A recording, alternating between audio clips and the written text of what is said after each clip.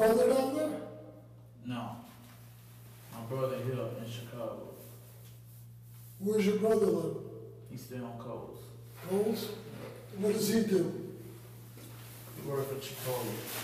For what? Chipotle. What is that? It's a restaurant. Where's- Downtown. It's downtown. Where you work? Yeah. Oh, okay, No, I don't work for Chipotle. I work for Coles. okay.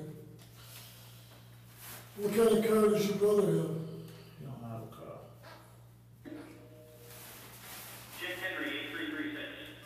Who do you know that has a four-door red Taurus? Nobody. Nobody? A four-door red Taurus, nobody. Mm. Oh.